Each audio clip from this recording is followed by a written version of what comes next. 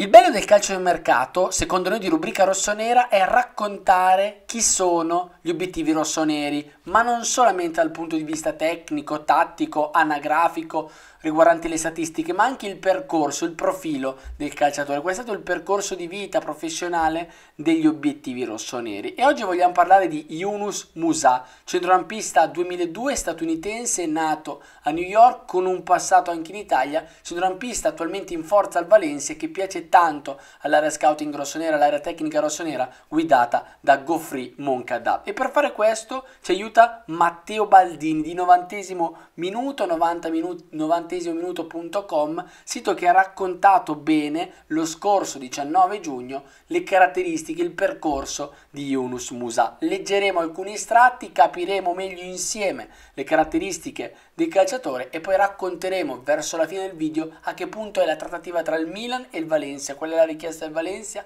qual è la situazione economico-finanziaria del club spagnolo e poi dove e come può interpretare al meglio le caratteristiche Yunus Musa, quali sono le sue caratteristiche caratteristiche dove può essere, dove può tornare utile allo scacchiere di Stefano Pioli. Partiamo dall'articolo. L'essenza stessa degli Stati Uniti, del melting pot culturale di cui questi sono portatori, si può talvolta riflettere in un singolo, può trovare espressione lampante anche in un calciatore e il caso di Yunus Musa è del tutto emblematico. La strada che dal Ghana porta a New York, che poi passa da Castelfranco Veneto e da Londra fino ad arrivare al presente in Spagna, appare sulla carta come figlia di traiettorie schizofreniche e prive di un filo conduttore, di un costrutto logico definibile a priori, storie che si suonano lontane ed esotiche sulla carta, ma che paiono come la radice stessa di qualità e di una ricchezza visibile anche sul campo. In un contesto in cui spesso si rivendica la necessità di valorizzare i talenti nostrani, ecco che il paradigma si ribalta. Musa può essere nostro come no, può rappresentare un calcio lontano come quello nato sui campetti sotto casa nostra. È una sintesi che curiosamente potrebbe intrecciarsi di nuovo con l'Italia, stavolta con la Serie A. Quali sono le sue caratteristiche? Quindi abbiamo letto di come il giocatore è nato in, da genitori ghanesi, nato a New York per poi fare l'adolescenza in, in Veneto, in Italia, Castelfranco Veneto, per poi essere acquistato prima dall'Arsenal e poi ritrovarsi ora a punto fermo di un club spagnolo. Quindi un giocatore che ha un'esperienza di vita professionale davvero molto molto ampia. E continuiamo con quella che è il suo ruolo e quelle che sono le sue caratteristiche tecniche.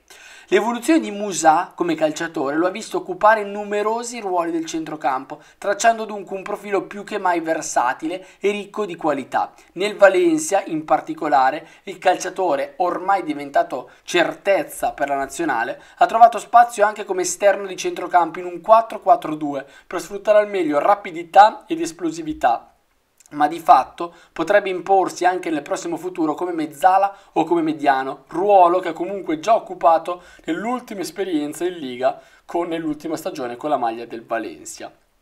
Musa ha dalle proprie parti un'esplosività impressionante, una potenza muscolare che gli consente di eludere l'intervento del diretto avversario e di saltarlo anche in zone potenzialmente pericolose, con sterzate improvvise e cambi di velocità. Doti queste che potrebbero fornire spunti importanti, immaginando un futuro anche da mediano.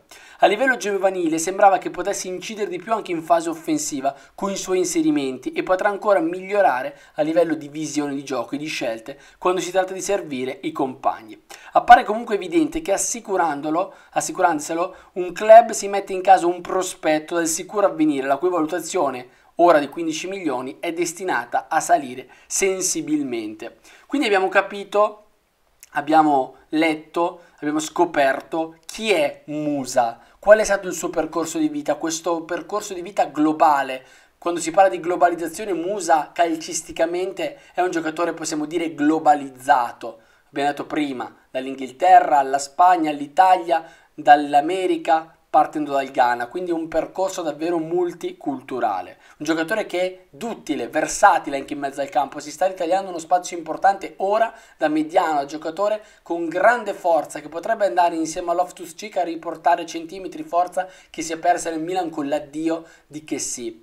E ovviamente è un giocatore che piace e quindi adesso iniziamo con quella che è la, um, la trattativa cosa sta nascendo tra Milan e Valencia. Facciamo un passo indietro. Il Valencia ha bisogno di cedere perché per il quarto anno consecutivo non parteciperà alle coppe europee. È un club che ha dei debiti, un club che non partecipando alle coppe non ha entrate dalla UEFA e quindi è costretta a vendere. E proprio Musa e il portiere Giorgi Mamardashvili deve cedere. Quindi questi due calciatori Valencia dovrà cederli. C'è tanta concorrenza sul calciatore, si parla di un'offerta di una richiesta di 30 milioni di euro, un Milan che vorrebbe chiudere a 20 con bonus facilmente raggiungibili 25, ma lo sappiamo, il Valencia è una bottega cara, una bottega che cercherà ovviamente di massimizzare dalla cessione di questo calciatore proprio per rientrare, proprio per recuperare risorse importanti per il lato finanziario economico del club.